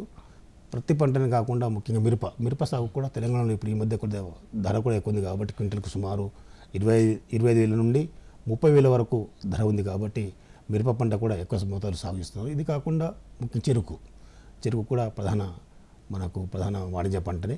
ఈ పంటలు కూడా రైతులు అదేవిధంగా పసుపు పసుపు కూడా ముఖ్యంగా ఉత్తర తెలంగాణ మండలంలో పసుపుకి ఈ మధ్య కూడా ధర బాగా వచ్చింది తెలంగాణ మండలంలో పసుపు కూడా ప్రధాన వాణిజ్య పంటగానే మనం పరిగణిస్తున్నాం కాబట్టి ఈ ముఖ్యంగా పత్తి చెరుకు పసుపు మిరప ఇవి ప్రధాన వాణిజ్య పంటలు మన రాష్ట్రంలో పండించేవి. ఓకే అండి. ఇందాక మీరు చెప్పినట్టుగా ప్రధాన ఆహార పంట వరి మనకి ఎక్కువగా. ఎక్కువ మంది రైతులు వరియే సాగు చేస్తూ ఉంటారు. మరి దీంట్లో దిగ అధిక దిగుబడి కోసం సమగ్ర ఎరువుల యాజమాన్యం ఎలా చేపడితే బాగుంటుంది? ముఖ్యంగా మన తెలంగాణ రాష్ట్రంలో ప్రధాన ఆహార పంట వరి ముఖ్యంగా ఖరీఫ్ సమయంలో వర్షాకాలంలో కూడా వరి పండిస్తున్నారు మన రైతులు. అదేవిధంగా నీటిపారుదల సౌకర్యం ఉన్న చోట ముఖ్యంగా రబీ స- రబీ కాలంలో యాసంగిలో కూడా వరి పంట పండిస్తున్నారు. అయితే వరి సాగు చేసే రైతులు ముఖ్యంగా సమగ్ర ఎరువుల యజమాన్యం పాటించాలి. ప్రధానంగా చూసుకున్నప్పుడు చాలామంది రైతులు ఏంటంటే వరి వేసిన పొలంలో వరి వేసుకుంటూ పోతారు కానీ అందులో ప్రధానంగా ముఖ్యంగా చూసుకుంటే పంట మార్పిడి చేయరు. పంట మార్పిడి కనీసం ముఖ్యంగా ఎండాకాలంలో అంటే మనకు యాసంగిలో వరి సాగు చేసిన తర్వాత మనకు ఎండాకాలంలో అప్పుడప్పుడు వర్షాలు పడ్డప్పుడు ఆ వర్షాలతోటి మనం పొలాన్ని దున్నుకొని అందులో కనీసం జీలుగా జనుము వన్ లేదా పెసర పిల్లి పెసర వంటి పచ్చి రొట్ట ఎరువులు వేసుకుంటే కనీసం పంట మార్పిడి చేసినట్టు ఉంటుంది. కానీ చాలామంది రైతులు ఏదంటే వరి వేసిన పొలంలో వరి వేసుకుంటూ అందులో ఎక్కువ మొత్తంలో ఎరువులు వేసుకుంటూ అందులో ప్రధానంగా ఏంటంటే మన తెలంగాణ రైతాంగం ముఖ్యంగా సేంద్రియ ఎరువులు. వరిలో సుమారు మేము ఎకరానికి నాలుగు నాలుగు నుంచి ఐదు టన్నుల బాగా మాగిన పశువుల పేడ వేసుకోమని చెప్తాము. కానీ చాలామంది రైతులు చాలామంది రైతులు ఈ బాగా మాగిన పశువుల పేడ వేయకుండా చాలామంది రైతులు పంట వేసిన తర్వాత ఇక పంట వరి పంట వేస్తూనే ఉంటారు. అదేవిధంగా సమగ్ర పోషక యాజమాన్యం పాటించకుండా ఉంటారు. తద్వారా ఏంటంటే ఎక్కువ చీడపీడలు ఆశించడమే కాకుండా ఎక్కువ పోషక లోపాలు వచ్చేసేసి పంట దిగుబడి తగ్గిపోయే అవకాశాలు చాలా ఎక్కువ ఉంది కాబట్టి ముఖ్యంగా వరిలో సమగ్ర ఎరువుల యాజమాన్యం పాటించవలసిన అవసరం ఎంతైనా ఉంది. అందులో ప్రధానంగా చూసుకున్నప్పుడు సమగ్ర ఎరువుల యాజమాన్యం ముఖ్యంగా అందులో ప్రధానంగా చూసుకున్నప్పుడు ముఖ్యంగా రైతులు సేంద్రియ ఎకరానికి ఖచ్చితంగా సుమారు ఐదు టన్నులు. ఎక్కువ వేసుకున్న పర్వాలేదు. వాళ్ళకి ఇంటి ఇంటిలో అందుబాటులో సే- ఎక్కువ ఉన్నాయనుకుంటే ఎక్కువ ఎంత ఎక్కువ ఉంటే అంత మొత్తాలు ఎక్కువ వేసుకోవచ్చు. ఈ సేంద్రియ ఎక్కువ వేసుకుంటే ఏంటంటే భూమి గుల్లబారి భూమి నేల గుల్లబారి సూక్ష్మజీవుల యొక్క శాతం బాగా పెరిగి అందులో మనకు రైతుకు లాభం చేకూర్చే సూక్ష్మజీవులు ముఖ్యంగా నత్రజని స్థిరీకరించే సూక్ష్మజీవులు నత్రజని స్థాపన చేసే సూక్ష్మజీవులు భాస్వరాన్ని కరిగించే సూక్ష్మజీవులు పొటాషియంను ముఖ్యంగా భాస్వరాన్ని అందుబాటులో తీసుకొచ్చే సూక్ష్మజీవులు ముఖ్యంగా పొటాషియం కరిగించే సూక్ష్మజీవులు జింకును కరిగించే సూక్ష్మజీవులు ఇలాంటి సూక్ష్మజీవులు చాలా వృద్ధిలోకి వచ్చేసేసి పంటకు చాలా లాభాలు అంటే ముఖ్యంగా హార్మోన్లు ఎంజైమ్లు నెలల్లో అభివృద్ధి చెంది పంట ఎదుగుదలకు ఉపయోగపడే అవకాశం ఎక్కువ ఉంటుంది కాబట్టి రైతులు ప్రధానంగా మొదటగా సేంద్రియ ఎరువులు వేసుకోవాలి. చాలామంది ఇప్పుడు చాలామంది రైతులు ఇంతకుముందు అంటే మన ముఖ్యంగా పూర్వం ఏంటంటే ప్రధానంగా ప్రతి ఇంటికి ఒక గేదెనో ఒక ఆవో మేకలో అవి ఉండేవి. ఇప్పుడు లేవు కాబట్టి పశువుల ఎరువు లేదు.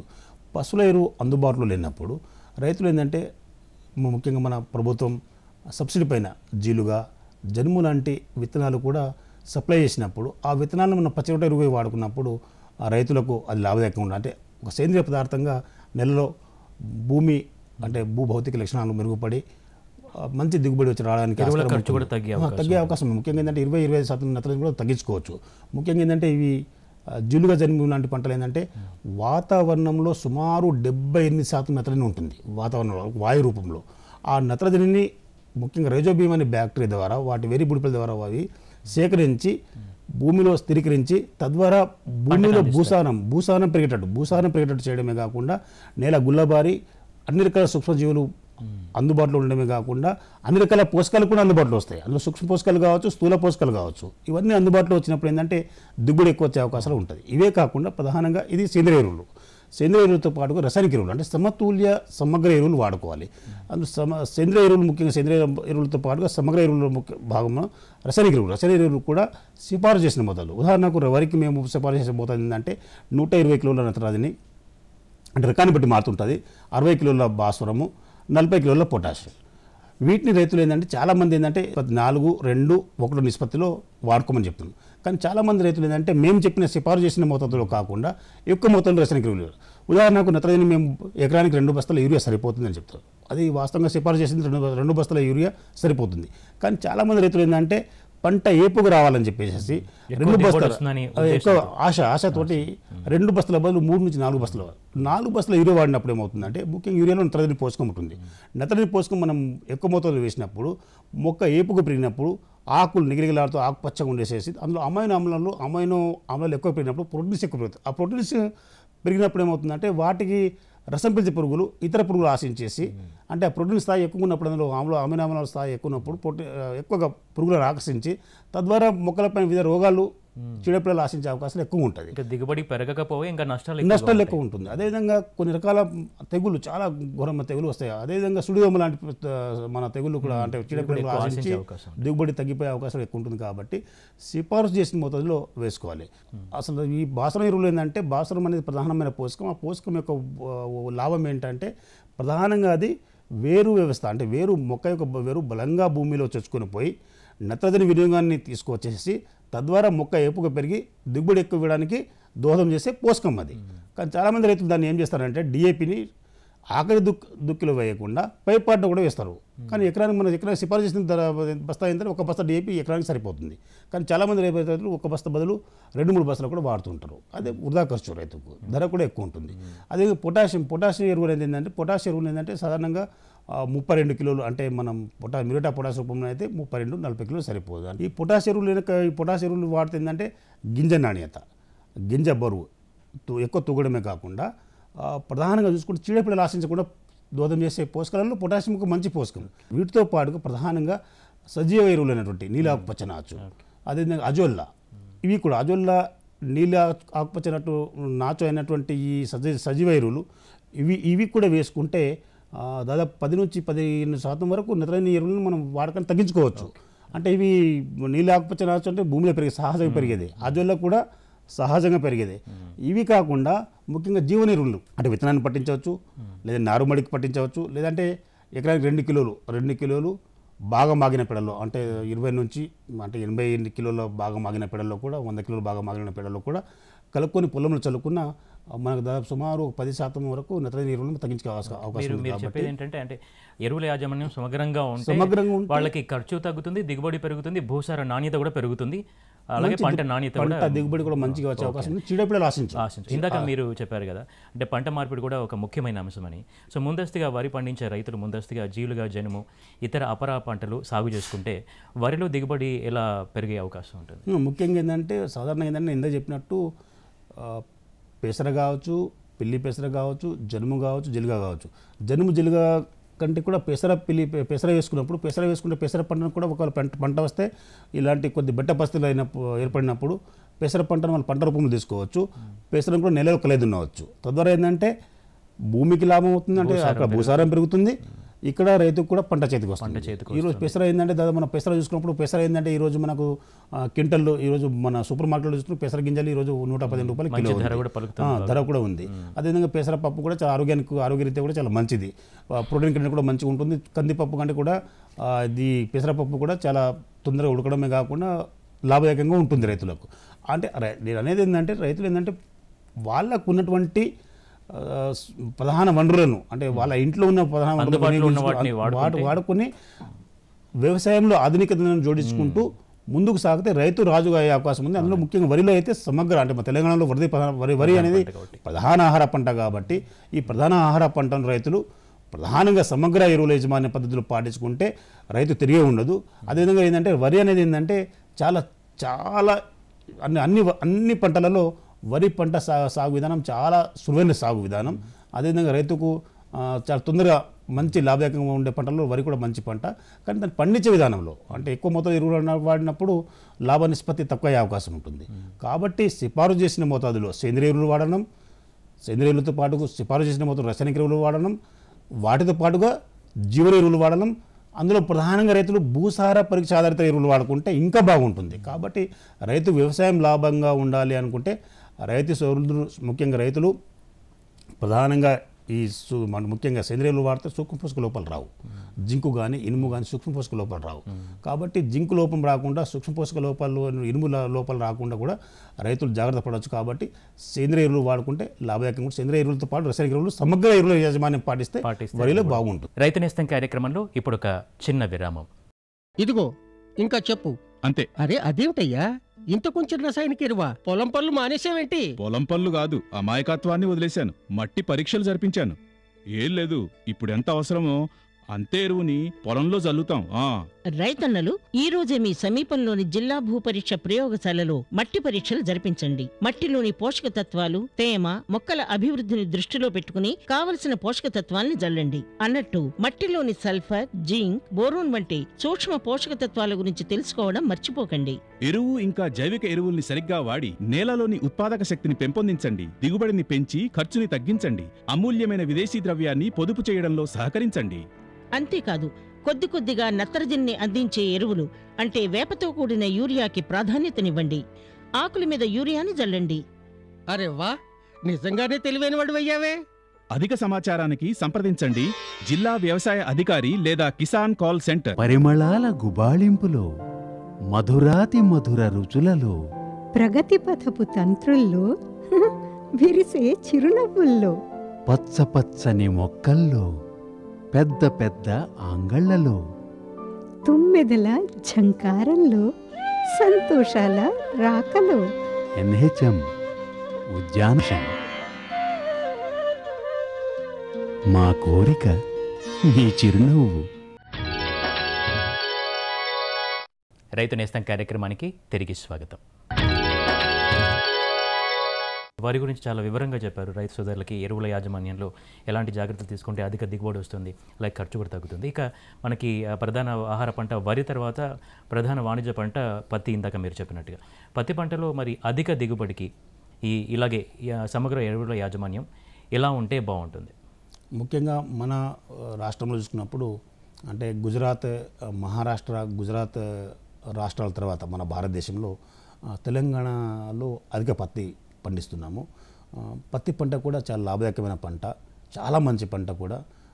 రైతు చాలా అంటే నిదానంగా ప్రధానంగా ఎప్పటికప్పుడు గమనించుకుంటూ పంటను పండించుకుంటే లాభాలు ఎక్కువ వచ్చే పంటలలో పత్తి ప్రధానమైన పంట. అయితే ఈ పంట ఏంటంటే ఇప్పుడు ఒకప్పుడు మనం సూటి రకాలు సాగు చేసేవాళ్ళము. అయితే ఈ ఈ మధ్య ముఖ్యంగా బీటీ కాటన్ వచ్చిన తర్వాత బీజీ టూ వచ్చిన తర్వాత అందరు రైతులు దాదాపు తొంభై తొమ్మిది శాతం రైతులు ఇప్పుడు కూడా మనం బీటీ హైబ్రిడ్ పత్తిని సాగు చేస్తున్నారు. అయితే రైతులు ఇక్కడ బీటీ హైబ్రిడ్ పత్తి కాబట్టి హైబ్రిడ్ పత్తికి ముఖ్యంగా పోషకాల ఆవశ్యకత కూడా ఎక్కువ ఉంటుంది.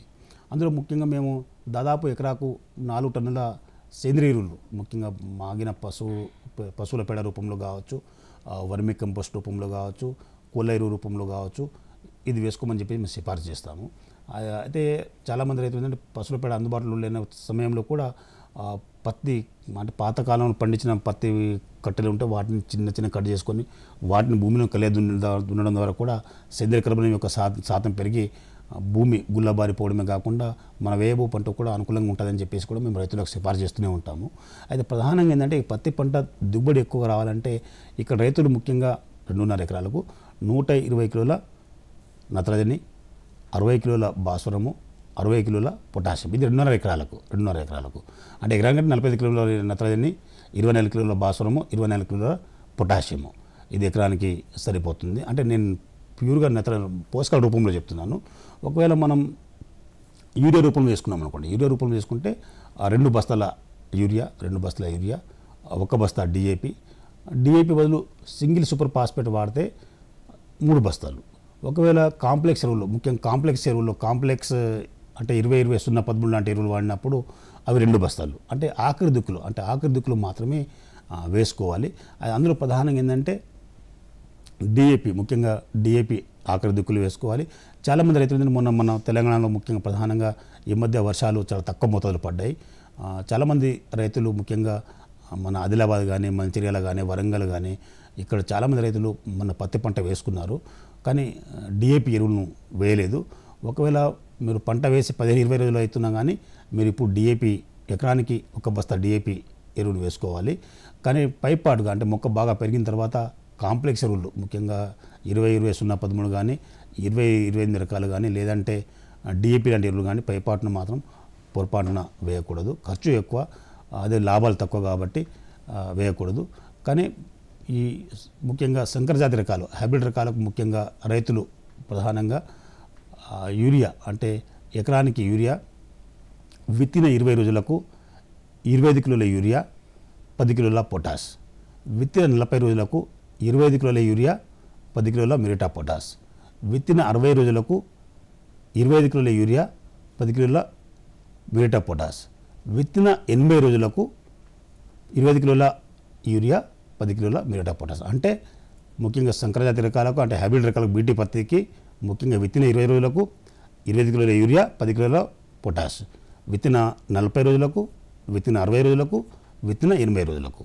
అంటే దాదాపు ముఖ్యంగా రెండు బస్తాల యూరియా సరిపోతుంది ఒక బస్తా పొటాష్ సరిపోతుంది కాబట్టి ఎకరానికి సరిపోతుంది కాబట్టి రైతులు ఎక్కువ మోతాదులో వాడ ఎక్కువ ఎక్కువ మోతాదులో మీరు యూరియా వాడితే మాత్రం ముఖ్యంగా రసం పెంచి పురుగులు. తెల్లదోమ పచ్చదోమ ఎక్కువ వచ్చే ఎక్కువ ఆశించే అవకాశం ఉంటుంది కాబట్టి దయచేసి ఆ రైతులు ఎక్కువ మోతాదులో పత్తిలో ఎక్కువ మోతాదులో యూరియా వేయకుండా యూరియాతో పాటు పొటాష్ వేయండి. పొటాష్ వేస్తే ఏంటంటే పొటాష్ మన పోషకాన్ని మొక్క మొదలకు వేసిన మొక్క మొక్క మొదలకు కనీసం ఐదు సెంటీమీటర్ దూరంలో వేయాలి. కొద్దిగా పాదులతో వేస్తే ఇంకా బాగుంటుంది. అంటే ఎరువుల యొక్క వినియోగ పోషక వినియోగ సామర్థ్యం పెరిగి మొక్క ఎప్పుడు పెరగడే పెరిగే అవకాశం ఉంటుంది. దిగుబడి ఎక్కువగా వచ్చే అవకాశం ఉంటుంది. అంటే ఈ యూరియాతో పాటుగా పొటాష్ వేసుకోవాలి. పొటాష్ పోషకం వేసినప్పుడు ఏమవుతుందంటే పొటాష్ పోషకం వేసిన తర్వాత మొక్క పొటాష్ పోషకాన్ని ఈ పొటాషియం పోషకాన్ని మొక్క తన కణజాలం కణజాలంలోకి తీసుకున్న తర్వాత ముఖ్యంగా ఈ పొటాష్ పోషకం మొక్క కణజాలంలో ఒక రకమైన పదార్థాన్ని అంటే ఫిరోనిక్ కాంపౌండ్ అని చెప్పేసి ఆ పదార్థాన్ని తయారు చేసుకుంటుంది. ఆ పదార్థాన్ని తయారు చేసుకున్న చేసుకున్నప్పుడు ముఖ్యంగా రసం పీల్చే పురుగులు ఆ ఫిరోలిక్ కంపౌండ్ అనే పదార్థాన్ని తినడానికి ఇష్టపడవు కాబట్టి మీరు ఖచ్చితంగా పొటాష్ పొటాష్ ఎరువును మీరు ఖచ్చితంగా యూరియాతో పాటుగా వేసుకోవాలి. అది కూడా విత్తిన ఇరవై రోజులకు నలభై రోజులకు అరవై రోజులకు ఎనభై రోజులకు ఖచ్చితంగా ఈ ఈ నిష్పత్తిలో మీరు వేసుకుంటే మీకు చాలా లాభాలు ఉంటాయి. కాబట్టి రైతు సోదరులు దయచేసి నేను సిఫారు చేసిన సిఫారు చేసిన మోతాదులో ఎకరానికి ఇరవై ఐదు కిలోల యూరియా పది కిలోల పొటాష్ ప్రతి ఇరవై రోజుల వ్యవధిలో ఎనభై రోజుల వరకు వేసుకుంటే మంచి పంట. ఎకరానికి మీరు దిగుబడి పది క్వింటలు తగ్గకూడదు తగ్గకుండా వచ్చేటి అంటే నేల పరిస్థితి ముఖ్యంగా నెలరేగడి భూములలో పది క్వింటళ్ళు అదేవిధంగా చలక దుబ్బ భూములలో కనీసం తక్కువ తక్కువ ఆరు నుంచి ఏడు క్వింటలు వచ్చే అవకాశం ఉంది కాబట్టి రైతు సోదరులు సిఫార్సు చేసిన మోతాదులో ఎరువుల వినియోగం చేపడితే చాలా బాగుంటుంది. Okay sir. తర్వాత ఇప్పుడు మన అధిక దిగుబడి కోసం ఈ పత్తిలోని అధిక దిగుబడి కోసం పొటాషియం జింక్ బోరాన్ లోపాల నివారణకు ఎలాంటి చర్యలు తీసుకోవాలి? ముఖ్యంగా ప్రధానంగా ఇక్కడ చూసుకుంటే పత్తిలో ముఖ్యంగా అంటే అధిక తేమ పరిస్థితి ఏర్పడ్డప్పుడు లేదా అధిక బెట్ట అంటే అధిక బెట్ట అంటే అతివృష్టి అయినా పరిస్థితుల్లో అది అంటే అది అతివృష్టి అనావృష్టి. ఈ రెండు- రెండు పరిస్థితులు ఏర్పడినప్పుడు ఏంటంటే పత్తిలో ముఖ్యంగా బొరాల్ ముఖ్యంగా మెగ్నీషియం లోపము ఆ, లోపము సూక్ష్మ పోషక లోపాలు సాధారణ వచ్చే అవకాశాలు ఎక్కువ ఉంటుంది. అందులో ముఖ్యంగా మెగ్నీషియం లోపం వచ్చినప్పుడు ఏంటంటే పత్తిలో ప్రధానంగా వచ్చే లోపాలలో ముఖ్యంగా మెగ్నీషియం లోపము ఆ, లోపం చాలా ప్రధానమైన సూక్ష్మ పోషకాలు అంటే అది అది ఆ, ద్వితీయ శ్రేణి పోషకం అదేవిధంగా బొరాన్ కూడా సూక్ష్మ పోషకం కాబట్టి ఈ ఈ రెండు పోషకాలను కూడా జాగ్రత్తగా గమనించాలి.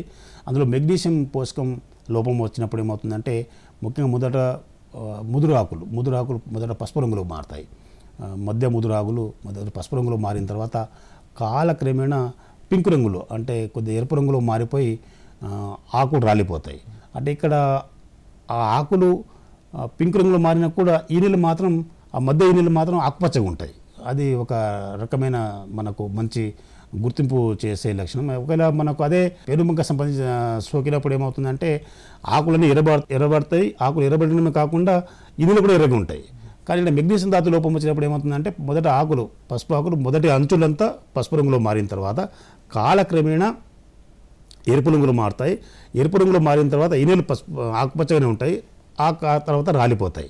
కాబట్టి రైతులు ఇక్కడ అది మెగ్నీషియం ధాతు లోపం కాబట్టి ఈ మెగ్నీషియం ధాతు లోప నివారణకు ప్రధానంగా పది గ్రాముల మెగ్నీషియం సల్ఫేట్ పది గ్రాముల మెగ్నీషియం సల్ మెగ్నీషియం సల్ఫేట్ లీటర్ నీటికి అంటే ఎకరానికి ఎకరానికి రెండు కిలోల మెగ్నీషియం ఖచ్చితంగా రెండు వందల లీటర్ నీటిలో కలిపి పిచికారీ తీసుకుంటే మెగ్నీషియం లోపం రాకుండా చేసుకోవచ్చు. ఓకే. అండి వరి గురించి పత్తి గురించి మాట్లాడుకున్నాం సార్. తర్వాత మొక్కజొన్న కంది ఈ పంటల్లో మనకి అధిక దిగుబడి రావడానికి ఎరువుల యాజమాన్యం గురించి ముఖ్యంగా ముఖ్యంగా ఇక్కడ పత్తిలో కూడా ఇంకోటి బొరాన్ లోపం కూడా చాలా ముఖ్యమైన లోపం. బొరాల లోపం ఒకటి పూత పిండి కూడా ఎక్కువ రాలుతుంటుంది ఇక్కడ. అయితే ఇక్కడ మనం పత్తిలో కూడా బొరాల లోపం వచ్చినప్పుడు ప్రధానంగా పత్తిలో బొరాల లోపం వచ్చినప్పుడు ఏంటంటే ముఖ్యంగా పువ్వు అంటే పువ్వులు చాలా చిన్నగా మారడము. పూత పిందె పురుగు అంటే ముఖ్యంగా తెగులు వాటి సంబంధం లేకుండా పూత పిందె రాలిపోవడము. అదే కాండం పైన పగులు ఏర్పడము. ఒకవేళ కాయ వచ్చిన కాయ పైన పగులు ఏర్పడడం. దాని నుంచి పత్తి ముఖ్యంగా దూది పైకి రాకపోవడం. జరిగే అవకాశం ఉంది కాబట్టి బొరా లోపం వచ్చినప్పుడు కూడా మొక్క గిడిసబారిపోయి పూత ఫలదీకరణ జరగకపోవడం జరిగే అవకాశం ఉంది కాబట్టి బొరాల లోప నివారణకు రైతులు ముఖ్యంగా బొరాక్స్ ఒకటి పాయింట్ ఐదు గ్రాములు లీటర్ నీటికి అంటే ఎకరానికి మూడు వందల గ్రాములు ఖచ్చితంగా రెండు వందల లీటర్ నీటిలో కలిపి పిచికారీ చేసుకుంటే చాలా బాగుంటుంది. అదేవిధంగా ఈ పత్తిలో ముఖ్యంగా ఎలాంటి కారణాలు లేకుండా అంటే పూత పింది అంటే అధిక తేమ ఉన్నప్పుడు కూడా అధిక బెట్ట పరిస్థితులు ఉన్నప్పుడు కూడా పూత పిందె రాలుతుంటుంది కాబట్టి పూత పిందె రాలినప్పుడు అంటే అక్కడ పురుగు సోకిందా లేక చూసిన తర్వాత పురుగు లాంటి ఎలాంటి పురుగులు ఏం లేనప్పుడు పూత పిందె రాలుతు రాలుతుంటే ప్లానోఫిక్స్ ప్లానోఫిక్స్ అనే హార్మోన్ను దాని మనం నాప్తలిన్ ఎక్స్టి ఎస్టిక్ యాసిడ్ టెన్ పీపీఎం అంటాము. అది ఐదు లీటర్ల నీటికి ఒక ఎంఎల్. అంటే ఎకరానికి ఎకరానికి నలభై మిల్లీలీటర్లు ఖచ్చితంగా రెండు వందల లీటర్ నీటిలో కలిపి పది పదిహేను రోజుల వ్యవధిలో రెండు సార్లు పిచికారీ తీసుకుంటే పూత పిందె కాయ నిలబడమే కాకుండా దిగుబడి ఎక్కువ వచ్చే అవకాశం ఉంది కాబట్టి దీనిపైన కూడా రైతు దృష్టి సారించాలి. చివరిగా మనకి మొక్కజొన్న ఈ కంది పంటలు ఎరువుల యాజమాన్య గురించి తెలియజేస్తారా? ముఖ్యంగా మొక్కజొన్న మొక్కజొన్న కూడా ఈ మధ్య మన ఆహార పంటగా కాబట్టి దాణగాను కోళ్ళ పరిశ్రమలో కూడా ఎక్కువ వాడుతున్నాం కాబట్టి ఆ మొక్కజొన్న పంటను కూడా ప్రధానంగా ఆహార పంట కూడా ఉత్తర తెలంగాణ మండలం ప్రధాన ఆహార పంట. అయితే ఇక్కడ ఏంటంటే ఈ మొక్కజొన్నలో కూడా సుమారు రెండు వందల కిలోల వరకు మన నత్రజని నత్రజని ఎరువులు అదేవిధంగా అరవై కిలోలు బాసం ఎరువులు అదేవిధంగా ఒక నలభై కిలోలు పొటాష్ ఎరువులు వేసుకుంటే కూడా అధిక దిగుబడులు వస్తుంది. కానీ సేంద్రియ ఎరువులు ఏ ఎరువులు వాడినా కానీ సేంద్రియ ఎరువులతో పాటుగా రసాయనిక ఎరువులు సమపాలలో సమతుల్యంగా వాడుకున్నప్పుడు దిగుబడి ఎక్కువ వచ్చే అవకాశం ఉంది కాబట్టి రైతులు ముఖ్యంగా మ- మక్క పంటకు కూడా దృష్టి సారించాలి. ఇది కాకుండా కంది అనేది మన ప్రధాన అపరాల పంట. ఈ మధ్య కంది సాగు పెరుగుతుంది. ఎందుకంటే ఈ మధ్య కంది పప్పు కూడా చాలా డిమాండ్ ఎక్కువ ఉంది. ఇప్పుడు కందిపప్పు మనకు సూపర్ మార్కెట్లో అక్కడ చూస్తుంటే దాని నూట అరవై నూట డెబ్బై రూపాయల కిలో ఉంది. కాబట్టి రైతు సోదరులు ఏ కొద్దిగా మీకు అవకాశం ఉన్నా ఏ కొద్దిగా ఖాళీ మీ పొలంలో ఖాళీ పొలం ఉన్నా ఆ పొలం గట్లపైన కూడా మీరు కంది పంట వేసుకోండి. కంది పంట వేసుకుంటే మంచి లాభాలు ఉంటాయి కంది పంట వేసిన తర్వాత కందిపప్పు మన మానవాళి ఆరోగ్యానికి కూడా చాలా మంచిది. మంచి మాంసకృతులు ఉంటుంది మంచి చాలా ఆరోగ్యంగా ఉండడానికి దోహదం చేసే అవకాశం ఉంది కాబట్టి రైతు కంది పంట వేసుకుని కంది పంటకు ఎరువుల అవసరం కూడా చాలా తక్కువ ఉంటుంది. ముఖ్యంగా ఎనిమిది కిలోల నత్రజని అంటే సుమారు పద్దెనిమిది కిలోల యూరియా సరిపోతుంది. అదేవిధంగా ఒక నలభై కిలోల డిఏపి సరిపోతుంది. పొటాస్ లోపం ఉంటే పొటాస్ ఎరువులు కూడా వేసుకోవాలి. రైతులు సమగ్ర వ్యవసాయ విధానంలో భాగంగా సమగ్ర పోషక యాజమాన్యం సేంద్రియ ఎరువులు అదేవిధంగా రసాయనిక ఎరువులు అదేవిధంగా వాటితో పాటుగా జీవన ఎరువులు వేసుకున్నప్పుడు రైతు సమగ్ర సేంద్రియ ఎరువుల విధానం అంటే ముఖ్య సమగ్ర ఎరువుల భాగంలో సమగ్ర పోషక యాజమాన్యం పాటించినప్పుడు రైతు దిగుబడి ఎక్కువ రావడమే కాకుండా ఎక్కువ లాభాలు వచ్చే అవకాశం ఉంది కాబట్టి తద్వారా రైతు రాజుగా రాజుగా రారాజుగా వెలుగుందే అవకాశం ఉంది కాబట్టి రైతు సోదరులు ఆధునిక వ్యవసాయ పద్ధతులు పాటించుకుంటూ ముందుకు సాగాలని ఆశిస్తున్నాను. ధన్యవాదాలు సార్. మా స్టూడియోకి వచ్చేసి రైతు సోదరులకి తెలంగాణ వర్షాకాలం పంటల్లో ఎరువుల యాజమాన్యం గురించి మంచి సమాచారం ఇచ్చారు. నమస్తే అండి. నమస్తే. ఈ అంశం గురించి అదనపు సమాచారం కోసం సంప్రదించండి. డాక్టర్ ఎం రాజేశ్వర్ నాయక్ ప్రధాన భూసార శాస్త్రవేత్త అఖిల భారత పశుగ్రాస సమన్వయ మరియు వినియోగ కేంద్రం ప్రొఫెసర్ జయశంకర్ తెలంగాణ రాష్ట్ర వ్యవసాయ విశ్వవిద్యాలయం రాజేంద్ర నగర్ హైదరాబాద్. ఫోన్ నెంబర్ ఎనిమిది మూడు సున్నా తొమ్మిది ఒకటి సున్నా ఒకటి మూడు మూడు నాలుగు. ఫోన్ నెంబర్ మరోసారి. ఎనిమిది మూడు సున్నా తొమ్మిది ఒకటి సున్నా ఒకటి మూడు మూడు నాలుగు. పద్దెనిమిది ఏడు రెండు వేల ఇరవై నాలుగు గురువారం రైతు నేస్తం కార్యక్రమంలో అంశం. బంతి సాగు మరియు మేలైన యాజమాన్య పద్ధతులు. పాల్గొంటున్నవారు డాక్టర్ ఎస్ ప్రణీత్ కుమార్ శాస్త్రవేత్త పూల పరిశోధనా స్థానం రాజేంద్రనగర్ హైదరాబాద్. ఇది ఈ రోజు రైతు నేస్తం కార్యక్రమం. మరో చక్కటి రైతు నేస్తం కార్యక్రమంలో మళ్ళీ కలుసుకుందాం. అంతవరకు సెలవు నమస్కారం.